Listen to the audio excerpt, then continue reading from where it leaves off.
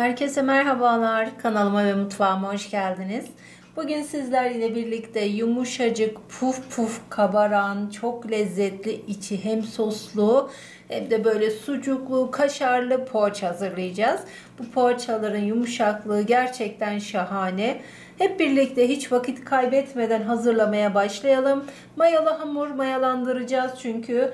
ilk önce arkadaşlar sıvı malzemeleri yoğurma kabına koyuyorum.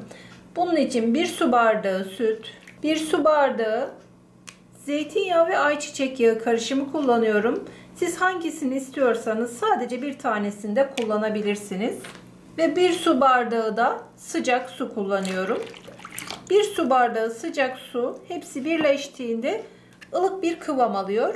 Veya hepsini ılık olarak da hazırlayabilirsiniz. Ben suyu sıcak, diğerlerini oda ısısında hazırladım. Üzerine iki tane yumurta akı ekliyorum. Yumurtaların sarısını da üzeri için ayırdım ve bir tane yaş maya kullanıyorum. Yaş mayayı elim ile ufalayarak içine ilave ediyorum. Yaş maya yerine instant maya da kullanabilirsiniz bir paket. Bir buçuk yemek kaşığı toz şeker ilave ediyorum. Çırpıcı ile bu malzemeleri güzelce karıştırıyorum.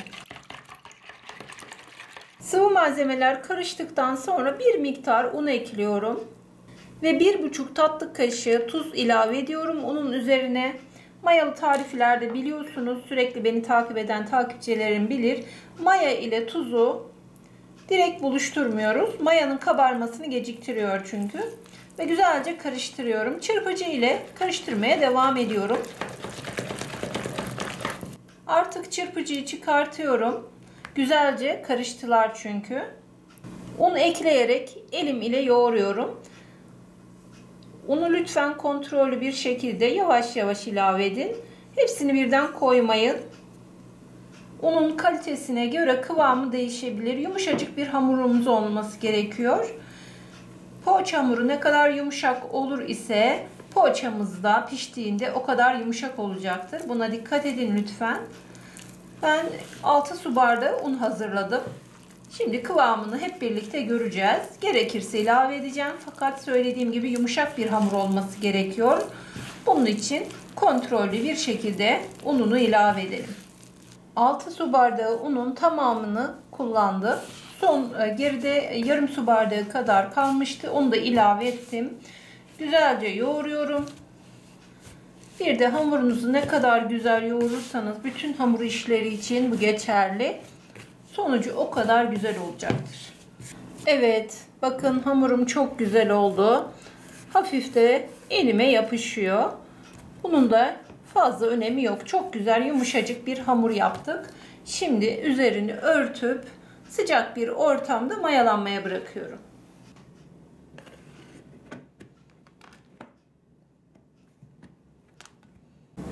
Poğaça hamuru mayalanırken içinin sosunu hazırlayalım. Sosu için bir tatlı kaşığı biber ve domates salçası karışımı kullanıyorum. Bir çay kaşığı karabiber, bir çay kaşığı pul biber, yarım çay kaşığı tuz ve bir tatlı kaşığı kekik kullanıyorum. Kekiği şöyle ufalayarak ekliyorum. Diğerlerini de ilave ediyorum. 2 diş sarımsak kullanıyorum. Sarımsakları rendeliyorum. Yarım çay bardağı zeytinyağı kullanıyorum. İlk önce baharat ve sarımsakları, salçayı güzelce karıştırıyorum. Yavaş yavaş zeytinyağını ilave ediyorum. Bir miktar su ilave ediyorum. Yarım çay bardağı kadar. Çok böyle akışkan olmaması gerekiyor. Kontrollü bir şekilde azar azar ekliyorum. Yarım çay bardağı Su yeterli geldi. Yarım çay bardağı da zeytinyağı kullandım. Pürüzsüz bir kıvam alıncaya kadar karıştırıyorum. Poğaçaların içine sürmek için olan sosumuz hazır. Sarımsaklı, baharatlı çok güzel bir sos oldu. Bunu şimdi kenara alıyorum. İç harcı için sucuklara küçük küçük doğruyorum. İlk önce dilimlere kesiyorum bir kase, küçük bir kase sucuk dilimi ve aynı kase ile bir kasede kaşar yeterli gelecektir. Sucukları ve kaşarı isterseniz rendeleyebilirsiniz. Rendelemek biraz zor oluyor sucukta. Onun için doğraması biraz daha kolay. Doğrayarak hazırlıyorum. Kaşar peynirini de aynı boyutta küçük doğruyorum. Zaten pişerken eriyip içinde şekli kalmıyor. Sucukların yapışmasını sağlıyor. Çok güzel lezzet veriyor. Sade peynirli veya istediğiniz iç harcı ile de bu poğaçaları yapabilirsiniz. Sucuk ve kaşarı karıştırıyorum. İç malzememiz de bakın çok güzel hazır. Bunun içine küçük küçük e, biberler doğrayabilirsiniz. Zeytin e, doğrayabilirsiniz. Çok yakışacaktır. Hatta e, iç kısmını, çekirdek kısımlarını alıp domates de doğrayabilirsiniz. Onun ile de çok güzel olur. Hamurumuz bakın çok güzel kabarmış. Mayası gelmiş. 30-35 dakikada benim hamurumun mayası geldi. Odanın sıcaklığına göre e, bu süre değişebilir. Şöyle bir havasını alıyorum bakın. Çok güzel bir hamur oldu. Şimdi tezgaha çıkartıyorum. Hamuru toparlıyorum. Şöyle bir yoğuruyorum daha doğrusu. Bakın hafiften yapışabiliyor. Ekstra un ilavesi yapmıyorum. Hamur yağlı bir hamur olduğu için o yapışmalar bir iki toparladıktan sonra kaybolacaktır. Yani e, tezgahınız yağlandığında unu eklersek hamurun kıvamı katılaşır ve istediğimiz yumuşaklıkta bir poğaça elde edemeyiz. Hamuru ilk önce ortadan ikiye kesiyorum. Daha sonra bir tanesini şöyle elim ile toparlayarak hafif uzatıyorum. Bezelere bölüyorum. Bezelerinizin büyüklüğü biraz da size kalmış. Büyük büyük poğaçalar yapmak istiyorsanız daha büyük de hazırlayabilirsiniz. Mandalinadan biraz büyük bezeler yapıyorum. Yarısını 8 parçaya böldüm. Diğer yarısını da 8'e. Tabi daha küçük de yapabilirsiniz. 8 yerine 10'ar tane yapıp 20 tane poğaça hazırlayabilirsiniz. Veya daha büyük de yapabilirsiniz. Bu tamamen size kalmış. Bütün poğaça hamurlarını bezelere böldüm ve yuvarladım. Şimdi ilk önce yapmış olduğumu alıyorum ve elim ile bastırarak inceltiyorum.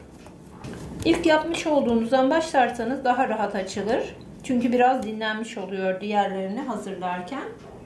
Hazırlamış olduğum sostan sürüyorum. Doğramış olduğum kaşar ve sucuk koyuyorum. Şu kısmını tutup ön tarafına kapatıp şöyle bastırıyorum. Daha sonra yuvarlıyorum. Ve bu kısmı parmak uçlarım ile iyice sıkıştırıyorum. Açılmaması için. Açılırsa içindeki kaşarlar pişerken akacaktır. Tekrar yuvarlıyorum. Ve şekil veriyorum. Fırın tepsisine yerleştiriyorum. Poğaçaların hepsine şekil verdim ve fırın tepsisine yerleştirdim. Şimdi tepsi mayası için üzerini örtüyorum ve 30 dakika bu şekilde bekletiyorum. Tepsi mayası önemli. Daha güzel, daha yumuşacık puf puf poğaçalar için mutlaka tepsi mayası yapın. Bu şekilde dinlensin bir 30 dakika. Poğaçaları 30 dakika beklettim. Şimdi üzeri için ayırmış olduğum yumurta sarılarını çırpıp üzerlerine sürüyorum. Her tarafına gelecek şekilde. Üzerine yumurta sarısını sürerken de bastırmamaya dikkat ediyorum. Lütfen sizler de o şekilde yapın. Çünkü çok güzel kabardı. Tepsi mayası oldu. Bastırırsak sönecektir. Fırınınızda lütfen bu aşamada açın. Önceden ısınmış 190 derece fırında pişireceğiz poğaçaları. Poğaçaları fırına vermeden önce üzerlerine tane haşhaş serpiyorum. Poğaçalar fırına gitmeye hazır. Önceden ısınmış 190 derece fırında üzerleri nar gibi kızarıncaya kadar pişiriyorum. Soslu kaşarlı poğaçalar fırından çıktı ve güzelce üzerine örtüp dinlendirdim. Mutlaka fırından çıkınca üzerine temiz bir pamuklu bez örtün ki üzerleri kurumasın ve yumuşaklığını korusun. Şimdi bir tanesini alıp size yumuşaklığını da göstermek istiyorum. Nasıl kabardığını görüyorsunuz. Çok güzel kabarıyorlar. Tepsi mayası çok önemli. Bütün poğaçalar için öyle. Tepsi mayası yaparsanız daha güzel sonuç alırsınız. Aralıklı koymama rağmen birbirlerine bakın nasıl da yapışmışlar. Çok güzel kızardılar görüyorsunuz. Yumuşacık. O kadar yumuşak ki yumuşaklığını görebiliyorsunuzdur umarım. Çok lezzetli, yumuşacık, harika poğaçalarımız oldu. İçi hem soslu hem kaşarlı. Şimdi bir tanesini bölüp içini de size göstermek istiyorum.